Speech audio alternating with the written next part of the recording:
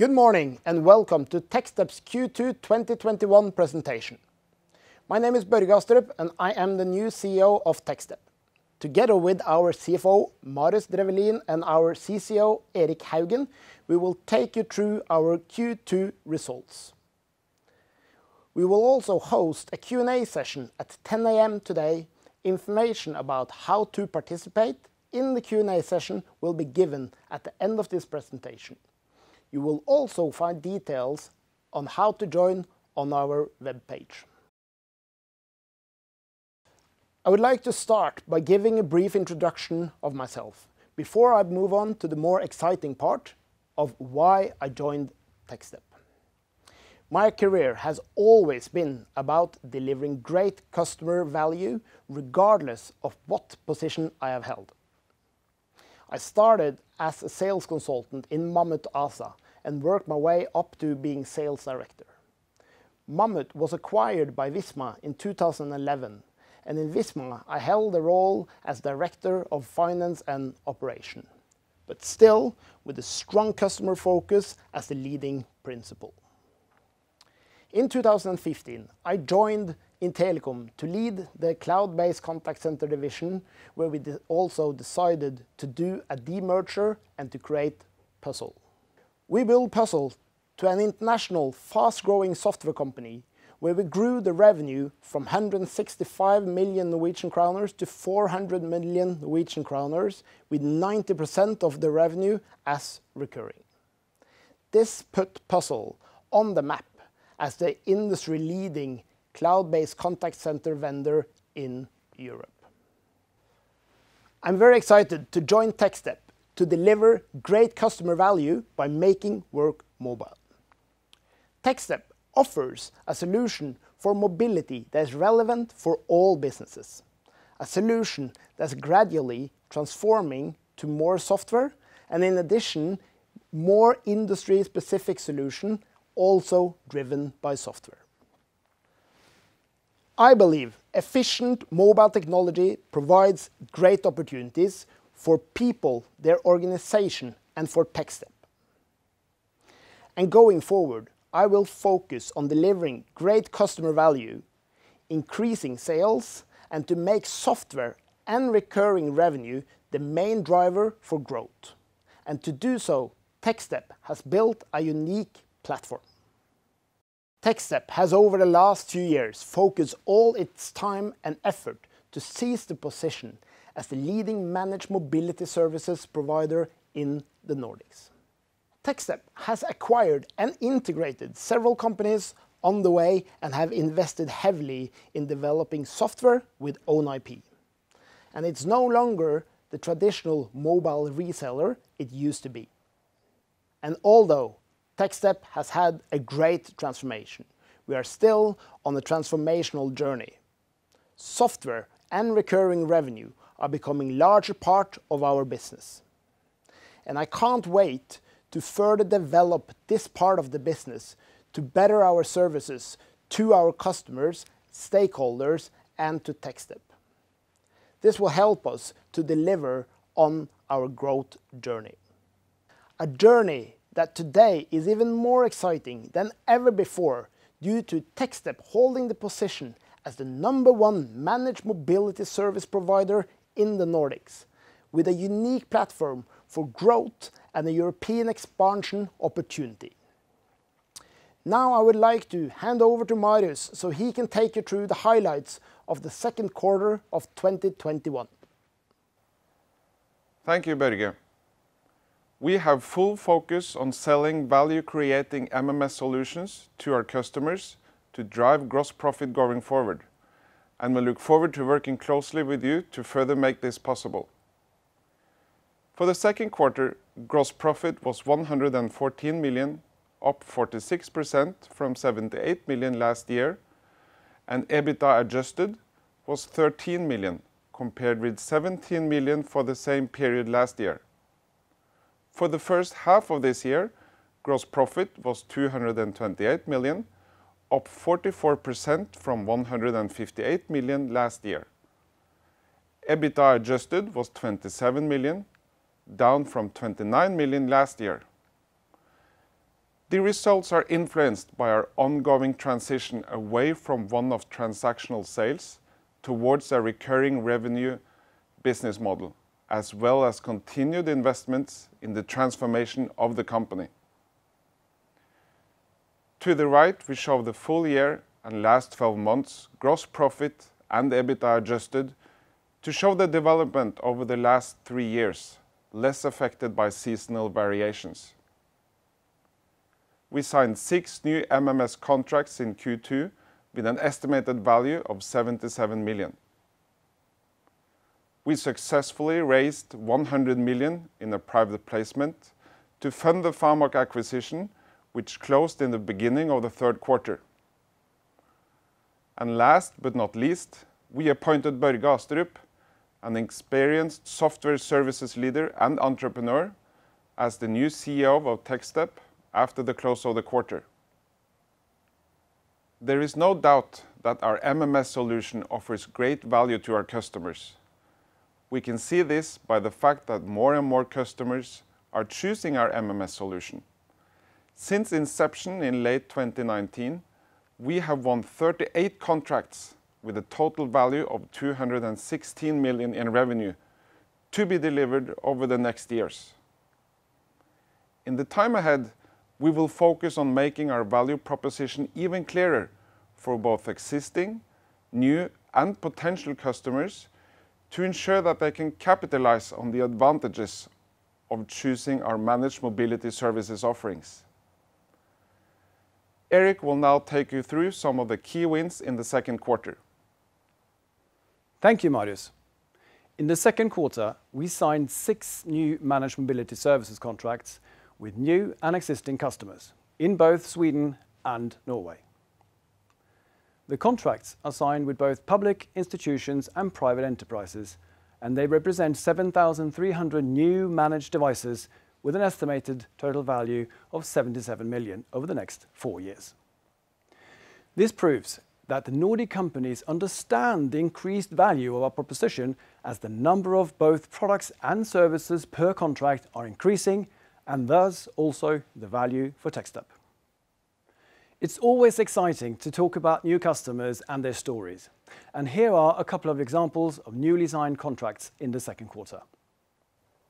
The Norwegian Public Postal Service is a long-standing customer of Techstep and one who has embraced the potential of mobile technology early. Posten is in its second extension of its mobility program, where postmen and women use iPhones with a series of apps that, for instance, assist them in finding the right delivery addresses. This results in more efficient mail handling, lower costs, and more satisfied customers. Now Posten has chosen Techstep's Flow concept for handling the device life cycle and asset management of their large number of devices in the field. This will increase value by enabling Posten to reduce the total cost of ownership and administrative complexities, while at the same time, the employees maintain the benefits provided by the overall MMS solution. Our Swedish subsidiary, Optidev, is long known for designing, building, and running managed mobility services solutions for various enterprises. Optidev is particularly strong within the transport and logistics sector, and is therefore with pride we enter into a new agreement with Storstockholms Lokaltrafik as they take advantage of Techstep's full offering, including advisory services, platform management, and asset management. Techstep will provide a complete offering, including creating a new ticketing app, as well as providing the full operational support and maintenance for the complete solution once it is launched into production. Software is becoming an increasingly important component in Techstep's MMS offering, both for our customers and as a driver for higher profits. In May, we added significant new software capabilities with the acquisition of Polish software company Famoc. The acquisition of Famoc has three clear opportunities for Techstep. One, by adding capabilities to our own IP for the MS offering, we can design and deliver better products with better value to new and existing customers in the Nordics. We will optimize our costs by replacing existing third-party components with our own IP. And finally, it will unlock our European expansion. With FAMOC, we can offer a complete, automated, and fully integrated MMS platform, which gives users and enterprises device and cost control, enhanced security, and lifecycle management, all within one dashboard, all at a low cost. We also see great opportunities to take Techstep's extensive know-how in mobility and bring that to FAMOC's existing partners and customers in Europe. Especially the asset management and device lifecycle capabilities of our Origo platform are of high interest and relevance. The combined forces of the two companies will see significant MMS opportunities in a vastly expanded market with a serious competitive advantage. Techstep has a fantastic customer base with strong opportunities for additional sales. We see that more and more of our Nordic customers understand our customer value proposition and increase their adoption of our managed mobility services offering. And with the recent acquisition of software company FAMOC, we will be able to enhance our offering towards Nordic customers, as well as broaden our customer base and opportunities beyond Norway, Sweden, and Denmark. I will now hand back to Marius, who will take you through the financials of the second quarter. Marius? Thank you, Erik. In the second quarter this year, revenue increased from 238 million to 325 million year-on-year. More importantly, however, gross profit increased by 46% this quarter from 78 million to 114 million, and 44% from the first half last year to the first half this year. This is due to an increase in our hardware as a services portfolio and contributions from the acquisitions we made in the fourth quarter last year. EBITDA adjusted decreased from 17 million to 13 million.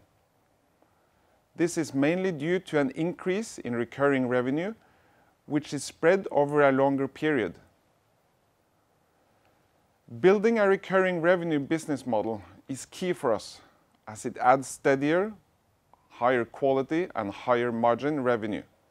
However, during the transformative phase that we are in, we are pursuing longer and larger full-service MMS contracts rather than smaller one-off contracts, which typically reduce revenue short-term.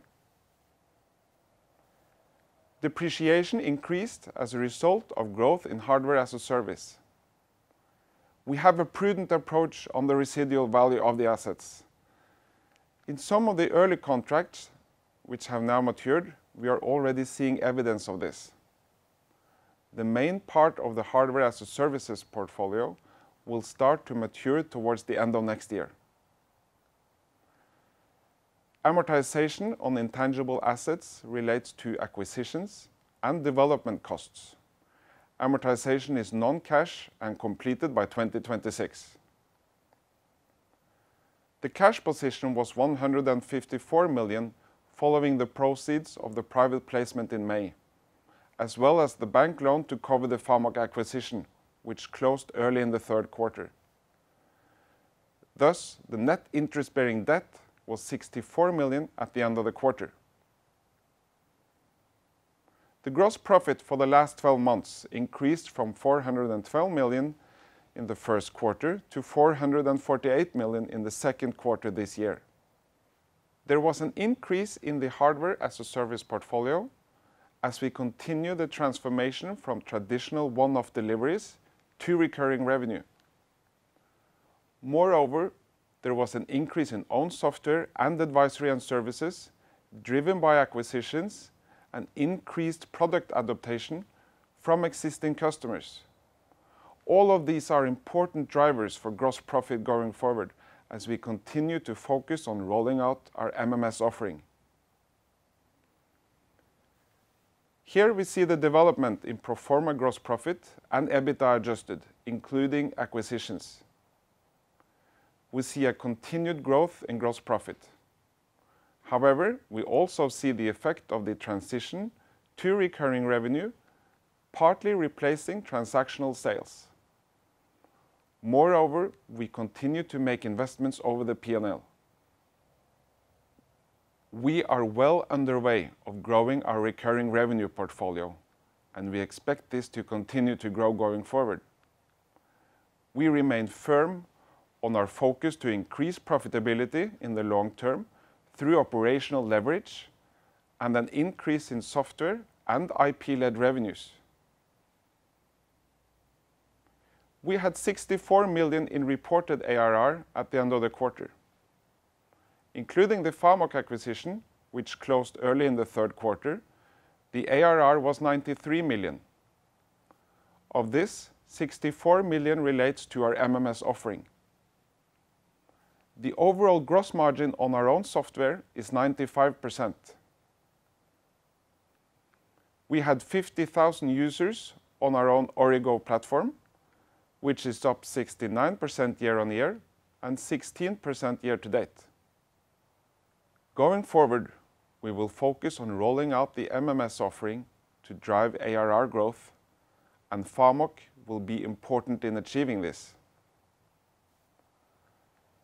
In the quarter, we maintained a solid balance sheet with 47% equity ratio. Tangible assets are mainly goodwill of 567 million and customer relations and technology of 143 million. Non-current interest-bearing debt includes acquisition loans of 71 million and seller's credit of 49 million. Other current liabilities include deferred revenue on the hardware as a service contracts of 132 million.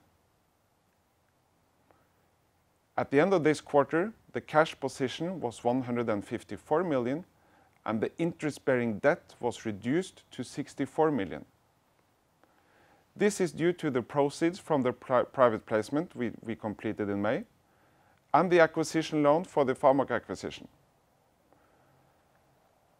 The acquisition closed in the beginning of Q3, thus, the net interest-bearing debt is estimated to increase by 90 million following the closing of the Famoc acquisition.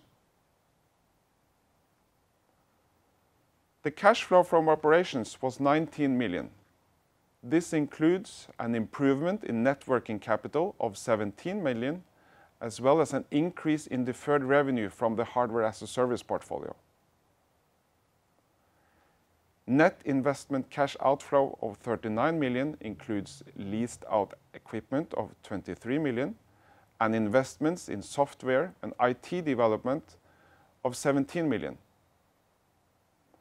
Net financing of 109 million includes net proceeds from the private placements and net borrowings of 12 million, offset by lease repayments of 5 million. Net cash in cash and cash equivalent was positive at 90 million for the second quarter. I will now move on to the outlook and the summary. Going forward, we are targeting strong growth with our MMS offerings. We intend to double the number of users on our cloud solution, Origo, and sign more than 30 new MMS contracts within the next 12 to 18 months from the start of this year. When it comes to the financials, we believe our gross profit growth will be in line with what we have said previously, and that the gross profit to EBITDA conversion will rebound to our targeted levels. We expect development CapEx to be higher than the long-term ambition, driven by the focus on software development and the need to modernize our existing business systems. This will lead to increased efficiency, scalability, and improved profits long term. Børge will now give you some closing remarks. So to summarize, we have successfully raised 100 million to fund the Famoc acquisition in May. It's also very positive to see that the gross profit growth continues and that we continue to sign MMS contracts. This quarter we have signed six new MMS contracts with a total of 7,300 managed devices. The total value of these contracts are 77 million, in addition to increased adoption with existing customers. Techstep is in a very exciting market and holds a unique position. We are transforming the business from transactional to recurring revenue, which also provides our customers with a better value. The Famoc acquisition also supports this transformation. We can now deliver our complete MMS offering through our own IP, meaning that we are able to deliver better value to our customers, and we are also able to optimize our cost. Famoc is also key for us to unlock our potential in Europe. Our focus forward is to increase the momentum of Techstep, seizing the opportunity that lay ahead of us. We will focus on simplifying our offering to make it easier for our customers to understand and choose the right package for their needs. And when buying services from Techstep, we support our customers to buy services and products with a lower environmental footprint in a more sustainable way. We invite you to participate in our Q&A session at 10 A.M. today. Please feel free to submit your question in advance in email or directly in the Teams webinar. We hope to see you there. And with that, we conclude today's presentation. Thank you all for watching.